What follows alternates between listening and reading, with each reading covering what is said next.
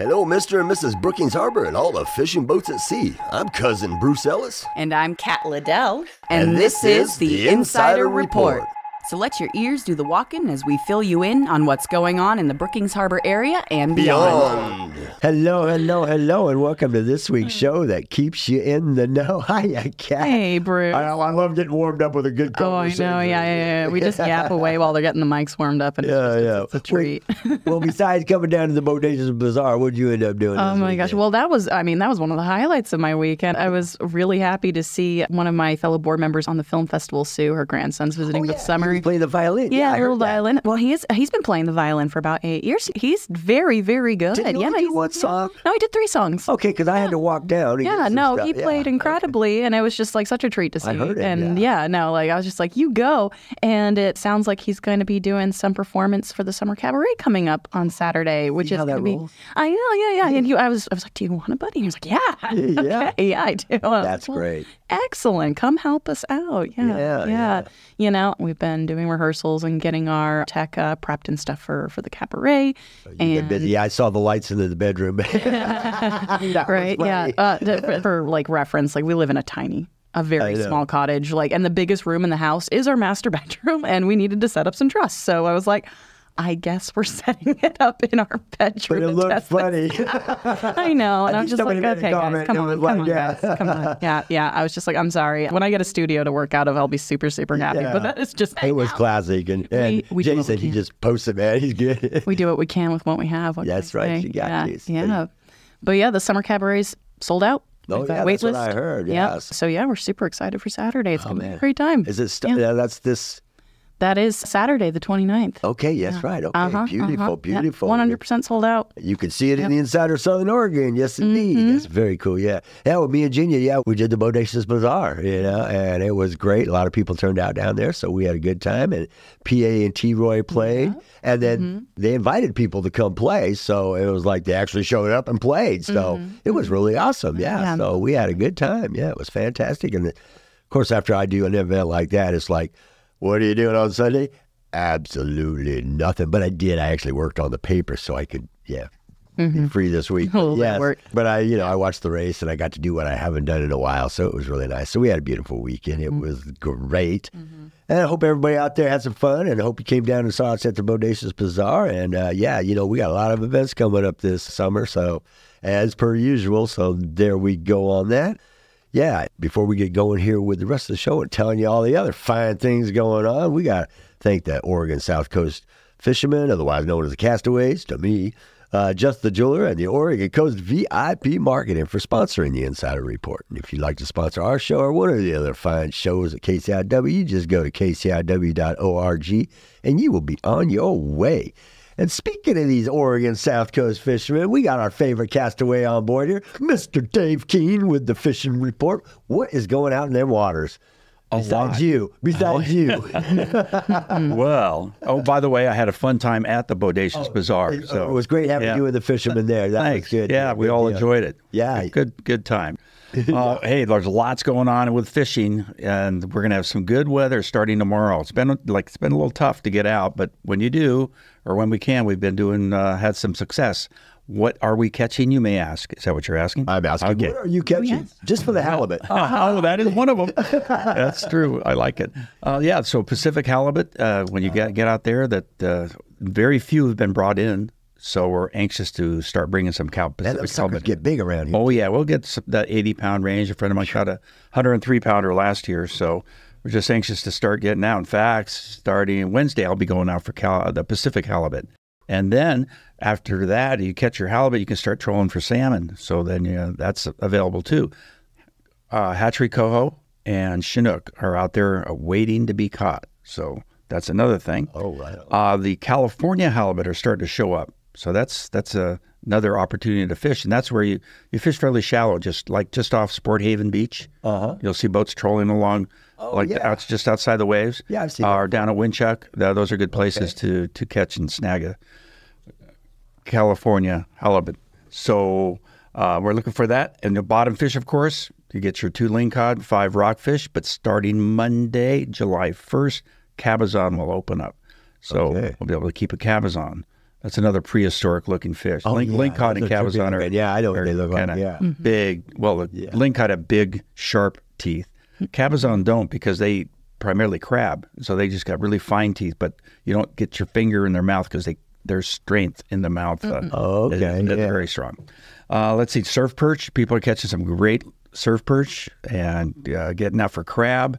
Uh, you name it. Uh, Everything's pretty much open right now, so we're anxious to get out and, and get her done. Bring back some fish. We, you guys got a meeting coming? up? We already do, not till July 17th. Oh, okay. So, So that's that's- next month. That'll Oh, happen. Oh, we are also going to start our our Chetco River seining project. We'll we help ODFW do that. If we have a seining tomorrow morning, then we'll have four more spread out for the next couple months. And what we do is we go down to the launch ramp, put a boat in that has a net, and we help uh, spread the net out. We pull the net in. We, we capture the salmon smolt. We measure them, count them, and put them back in. So it's a way to determine how the run is going to be. Oh, yeah. You guys do that. Yeah, yeah, yeah. That's a good deal. So we're look- deal. looking forward to doing that as well. So you heard of the saber-toothed salmon? Prehistoric? It's a prehistoric salmon. They call it a saber-toothed salmon because they thought the original the teeth came out of the front, but they actually come out more like a um, warthog, you know, like a hog out there out the side, tusks, more like tusks. But they call it a saber-toothed salmon. Eight foot of salmon, baby. Can you imagine a bear back then catching one of those or bringing that in and feed the feed the clan for a month? Yeah. I mean, but yeah, I did an article on it uh, for my creature feature next month because of slam and salmon coming up. Oh, good. I Yeah. thought you'd Oh, yeah. appreciate that. Thank yeah, you. Uh-huh. Wicked looking fish. And you know what they ate? They were all that wicked. Hell, I you, plankton. No. Yes. they ate just like the big whale does, you know? Yeah, that's what they did. Yeah. It's a good storyline. I like Yeah, it. yeah. I, I wrote a whole big thing on it. It's pretty interesting, but they were wicked looking too. Yeah. Yeah. And you did mention the slam and salmon. That's right. We have that coming up. Yeah. So we'll help support that. Our fishing club will help Yeah, you'll be with us down uh, there. Michelle and Chrissy and the gang. And, you know, uh, what, July 5th, 6th, and 7th, I believe, Yeah, when it's we'll do run. the sky high first. And I got a whole thing on it. Oh, yeah. yeah. So we'll, we'll see you around. Always good having you on board there, brother. And uh, you and Mary Lou is going to be dancing here again today, aren't you? Well, I have, you didn't see, but I have a bum foot. Oh, you got a bum foot. I hurt my Achilles tendon, and I like to say it was catching a big fish or Oh, wrestling a bear, but it, I heard it line dancing a month ago. Oh my gosh. okay. but don't tell anybody. Comes out. Oh, yeah, your secret's safe. yeah, us. you're Yes, yes. it's safe. Yeah. I'm going to go visit today, though. That I heard I missed, so I'm going to go Okay. say hi. Yeah. Okay. Listen to music. I guess it has been a little bit from last time we had you on. All Yeah. right. Well, take care, Dave. Thanks a lot, and for all you guys do out there too for the fishing community, oh, appreciate Oh, it. well, thank you, Bruce, and thank you, Kat. Good to see you. Good to see you. Always support the Oregon mm-hmm. South Coast fishermen. Yeah. All right, that was great. Good time. Yeah, club foot. Oh, All right, always good to have the fishing report on board here. Yeah, he's been out there. I've been seeing his Facebook posts. He's been catching some fish out there like crazy. well, at least he's able to fish. That's right. Can't dance, The hands can- are fine. Yeah. Mm-hmm, yeah, yeah. Mm-hmm. We got a little bit of a music schedule here left, so let's get going. Yeah, there's a little bit left in June. To finish things off in June at the Travel Oregon Welcome Center, music there starting at 2 p.m. On the 29th, it's going to be Danielle Duran and Nathan Stone. That's a vocalist and guitar duo. Yes, indeedy. And then uh, Cisco, he'll be playing on the 26th at the Chetco Activity Center from 11 to 1.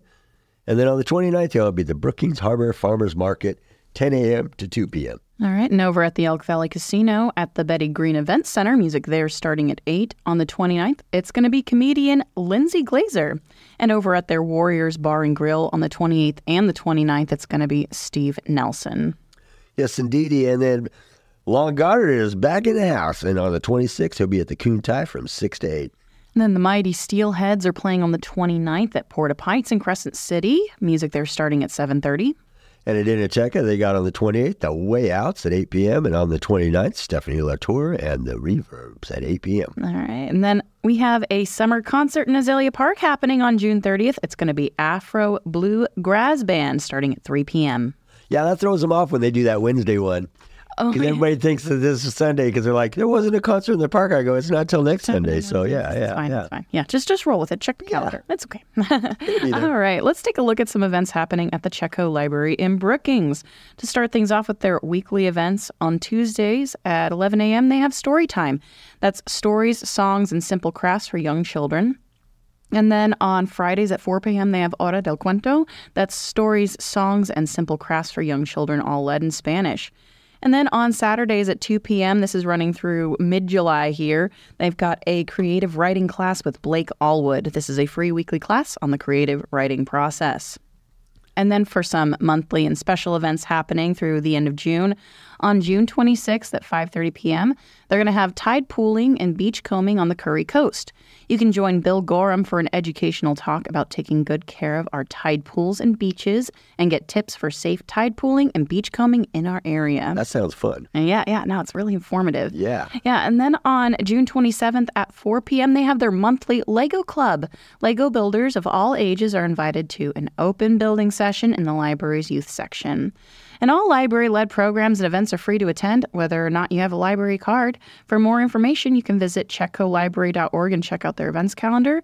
You can follow them for updates on Facebook, or you can give them a call at 541 469 7738. Yeah, that's it. It's winding down here, but To you, You gave me a July calendar, so next week we'll be right back up there. Talking about all the summer reading that's going on. That's in full swing. So, yep, more more special events coming up then in July. And I got it all there waiting for us. Yep, yep, yep. Hey, the Barefoot Beach Boogie at Crescent Beach at Enderts Beach Road in Crescent City is going on on the 26th, 11 a.m. Say, get ready, kick your shoes off, feel the sand between your toes, and dance the day away at the Barefoot Beach Boogie Bay. You can experience nature and boogie to some positive beats with a park ranger and people in the community of all ages and abilities. They will also practice the dance move they made up called the Sand Dollar Shuffle.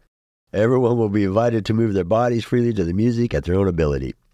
Scarves, poise spinning, ribbon wands, hula hoops, and other toys will be available to encourage movement. Be inspired by bubbles, be silly, have fun, make new friends, and learn something new. An interpretive park ranger will teach you about some cool stuff when they aren't too busy dancing. There'll be light refreshments will be provided to recharge your dancing energy. Stay hydrated and join the fresh flavored water taste test. You can rethink your drink activity with flavored water ideas for all palates, sweet, tangy, herbal, tropical, which includes smoothie bike for watermelon coolers. Participants can stop at the hydration station and take a ride through water flavors and vote on their favorite. So whether you're a seasoned dancer or just looking to groove on some tunes, the event is perfect for everyone. So there you go. They say pack a picnic and get ready to boogie down. All right. And now it's time for quotes from famous people with Cousin Bruce. Yeah, hey, here are a few quotes from a song and dance actor, Josephine Baker. She was born June 3rd, 1906. She says, The things we truly love stay with us always, locked in our hearts as long as life remains. She says, All my life I have maintained that people of the world can learn to live together in peace if they are not brought up in prejudice. And then surely the day will come when color means nothing more than the skin tone, when religion is seen uniquely as a way to speak one's souls, and when birthplaces have the weight of a throw of a dice and all men are born free, when understanding breeds love and brotherhood. I like that one. Hmm. And last but not least, she goes, I wasn't really naked. I simply didn't have any clothes on.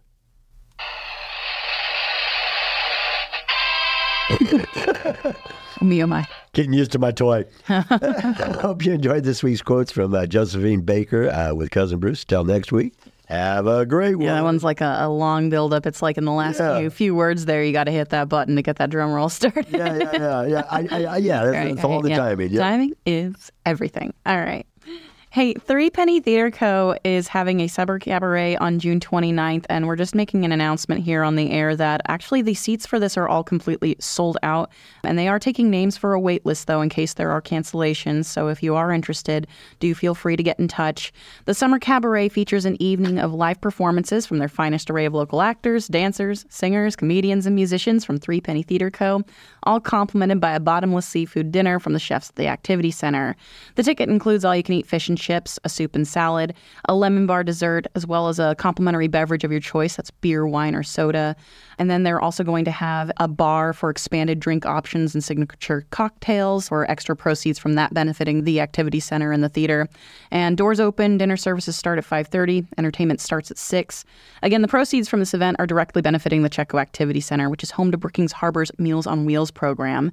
They're also benefiting Threepenny Theater Co., the newest live theater troupe on the Wild Rivers coast. Again, there's currently a wait list for that. The cancellations do happen, so if you're interested in getting on that wait list, you can get in touch with the director of that event, Jason Liddell, by giving him a call at 541 251 0640 or sending an email to contact at threepennytheater.com. You can also get in touch with them on Facebook and Instagram. Must feel good. Yeah. Sold out. Don't you like that? Yeah, that's yeah, it's really, really good. Yeah, yeah. You, you never know. Sometimes cancellations do happen. They're doing that right now gonna- for the fur ball at Humane Society. So Yeah, it wouldn't hurt for somebody to hit you up totally. towards Yeah. the time when it gets close. Absolutely. All if goes they really for a want good to go. cause. Yep. So, so by all means, get in touch. Yes, indeed. Mm-hmm. Otherwise, next time you best buy your tickets early. They're doing some good stuff over there. Man, be Threepenny. high. Hey, go Fourth on the Rogue. Festival and fireworks show will be going on at the Port of Gold Beach on the 4th of July, of course. All right. And then Crescent City Cultural Center on 1001 Front Street is having a 4th of July Arts and Crafts Fair. So this actually starts on July 3rd, going from noon to 7 p.m., and then on the 4th of July from 10 a.m. to 4 p.m. And during that event, there's going to be a special raffle for an original oil on canvas painting by artist Carol Long. And for more information about this event, you can call 707 460 1414. Yep. And hey, Elk Valley Casino is presenting our own homegirl, Jessie G. She'll be coming on uh, July 6th. Born in Brookings, Oregon, into a lineage of coastal commercial fishermen, Jessie G's roots run deep. Jessie's voice is unmistakable country. Tickets are on sale now in person at the Points Club booth or online at etix.com and in advance on the day of the event. Doors open at 7 p.m. with the show starting at 8. Must be 21 years older uh, to attend, and seating is a first comes, first served basis. Alrighty. Now it's time for a bit of weird history with Bushwhacker Bruce. Right. G'day, Kat. G'day, mates. Bushwhacker Bruce here, and welcome to this week's Bit of Weird History for your knowledge pleasure. Did you know we got two animal related stories that are weird, to say the least? It's true, and here's the story. In the annals of British eccentricity, the story of Sir Francis Dashwood, the toad eating baronet, stands out as a curious and peculiar chapter. Sir Francis, a prominent 18th century figure, was known for his unconventional and often outrageous behavior. His most notorious quirk involved hosting strange gatherings known as the Dilettanti Society, where members were encouraged to consume toads as a form of amusement. This bizarre practice earned him the moniker the Toad Eating Baronet and cemented his reputation as one of the most eccentric noblemen of his time. And also in the peaceful San Juan Islands, located between the United States and Canada, an absurd dispute over a stray pig in 1859 escalated into an international crisis.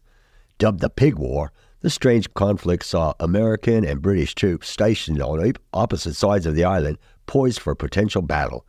The real issue, however, was a territorial sovereignty. Both nations claimed the island as their own, and the accidental shooting of a British pig owned by an American settler triggered the standoff. Well, remarkably, cooler heads prevailed, and the situation was eventually resolved through diplomatic negotiations rather than bloodshed. Well, like saith, barons and toads and pigs. Oh my. Alrighty. I hope you enjoyed this week's Bear Weird History with yours truly, Bushwhacker Bruce. Until next time, keep it real, but always keep it weird.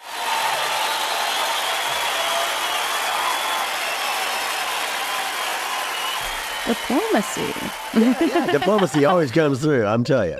That's probably my preferred method. Yeah, well, yeah, a lot less lives are You lost know? that Yeah, way. Exactly, exactly. I'm a big fan. hey, Legends Arcade, located at 16378 Lower Harbor Road, is presenting their first ever POG tournament. This is going to be on the 13th of July, and you can join Legends Arcade for their first POG tournament. Each registrant will receive a slammer and a series of POGs to play with. There is a registration fee. They ask, Are you going to be their first POG champion? That's very cool. Do you know the game? So I remember collecting Pogs when I was uh, like a child of the 90s, but I never played Pogs. I have no idea how to play. I know it was a game you could play, but I just collected them because I thought they were cool. Okay, because they have slammers and they do something I with it. I know. you yeah, nothing I- about it, but it was a whole thing that apparently I was just a little too young to understand how it worked, and I just thought they were pretty and They were cool though. Yeah, yeah, yeah. Well, yeah, the Pokemon Yeah, went crazy. Like the, I think they were one of the first ones. Yeah. yeah, yeah, yeah, yeah. But yeah, um, yeah, old school. Old school stuff. Yeah, Very old So cool. Ah, you know, legends. They're doing stuff like that all the time. It's very cool. Hey, the insider of Southern Oregon, Vince. Thank you very much. Presents the Sky High Fourth of July and Slam and Salmon. The first one is on the fourth from 10 a.m. to 8 p.m. Enjoy a day at the port, leading up to the Love Your Fourth fireworks display. Local vendors, food, beer garden, live music, kids' activities, and fun for the whole family. Then on the 5th, 6th, and 7th, 10 a.m. to 5 p.m. every day, we have the Slam and Salmon Fishing Derby slash Festival. The Brookings Harbor High School Anglers Club has teamed up with the Insider Events to bring you their biggest fundraiser of the year. This Fishing Derby Festival not only has prizes for the fishing categories, but also local vendors, food, live music, beer garden, kids' activities. Good times for the entire family. There you go. All right. Four days for us. I, it's, it's a long weekend for you down there. hey, the Lucky Seven Casino is presenting music by Brittany Kellogg. This is happening July 12th at 8 p.m. And Brittany Kellogg is coming to Lucky Seven Casino Hotel for a live performance in the Tolowa Event Center and tickets are on sale for pre sale as well as the day of the show. Doors open at 7 p.m. The show starts at 8, and you have to be 21 or older to attend. Yep. And then we're going to slide into a slightly different event here. There's going to be a children's event happening at Trinity Church at 1200 Easy Street. The Vacation Bible School theme is Christmas in July, and then it's running from the 15th through the 19th of July. The program runs from 9 a.m. to noon every day, and this is for kids up to the sixth grade. Features games, songs, play, crafts, fun. It's free for everyone who participates, and you can register at www.ticbrookings.org or by giving them a call. You can call them at 541 469 3411. Yes, indeed. And then we got the Bigfoot Blues Fest. That's right. This will be our third year going on there. They'll be happening on July 27th and 28th. Saturday it's 10 a.m. to 9. Sunday it's 10 a.m. to 6. It's blues on the boardwalk local vendors, food, beer garden, live music, kids activities. That's how we roll. Yeah, that's that's it's just the, the, the thing that we do now. that's what we do. that's what we've been doing. hey, the Relay for Life is happening on the 20th of July at 6 p.m. and then on the 21st at noon. And this Relay for Life is taking place again on the 20th and 21st at the Del Norte High School track. Now is the time if you want to get your team organized and begin fundraising for that. They are still searching for volunteers to help make sure this event's successful. If you'd like to get involved, you can call or text the chair of the planning committee if you're able to give time or would like to sponsor this event. And if you want to get in touch, you can contact Chelsea by phone or by text at 707 951 9154. Yep, and as we mentioned earlier, the South Coast Humane Society is presenting the Furball 2024 at the Brookings Elks Lodge. This is happening on July 27th, 5 p.m. to 10 p.m.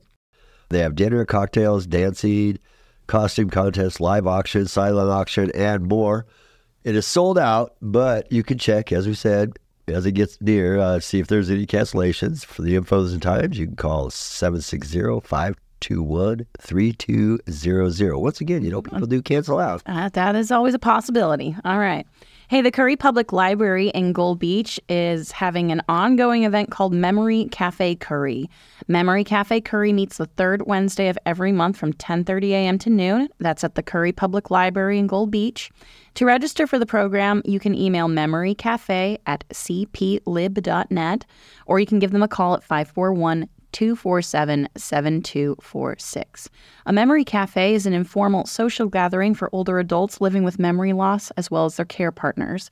Care partners may include, but are not limited to, spouses, siblings, children, or friends whose social lives are often just as affected as their loved ones. Memory cafes are designed to be a casual, stress free gathering to allow care partners an opportunity to relax and socialize with others in a similar situation. Memory Cafe Curry will be staffed by a qualified social service provider, as well as library staff and volunteers. Yep, and KCIW Soapbox Series is still going on here. At KCIW is giving folks a chance to speak their mind on a show called KCIW Soapbox. Basically, KCIW is offering two minutes of airtime to anyone who has something to say. Few rules, of course no cussing, no slandering, no advertising. But other than that, folks can share what's on their mind the studio is open every Wednesday from 2 to 3 for people to come in and record. All right, and over at the Whimsical Griffin, located at 615 Chetco Avenue near the Redwood Theater, they have game nights happening every week on Tuesdays and Fridays. They run from 5 p.m. to 9 p.m., and their game nights feature Magic the Gathering, Dungeons and Dragons, and a variety of board games. Yep, and I always like to get this one in. Meals on Wheels is always looking for volunteers. Meals on Wheels are needing volunteer drivers. They deliver about 75 hot meals daily to seniors that can't get to the Chetco activity for their daily meals served there. They have a harbor route and a Brookings route. This is a perfect opportunity for anyone out there that wants to give back to the community and be a friendly face to deliver a hot meal and a little kindness to our local seniors. Whether you're interested in doing a day, a week, or a month, all volunteers are welcome. Please contact Debbie Lutz at 714-423-9797. And it's just a wonderful thing to do this. And if you're out there and you really want to do something for the community, that's the thing to do right there. Oh yeah, anything for ending hunger, man. Absolutely. Yeah, yeah, it's a good cause. That's a good cause. All right. The Brookings Harbor Boy Scouts of America are currently scouting for new troop members. This is an ongoing thing. Boys and girls are invited. Troop 32 and Troop 4032 are now accepting new scouts as well as adults who are interested in volunteering. Scouts are able to join the troops from 5th grade through age 17. Adults are able to volunteer as long as they are over 21 years old, are able to pass a background check, and are willing to spend about an hour and a half completing a youth protection training course. They meet at the Scout Hall from 7 to 8:30 p.m. every Monday night except for holidays. You can come meet the troops and learn more about what Scouts can help you achieve.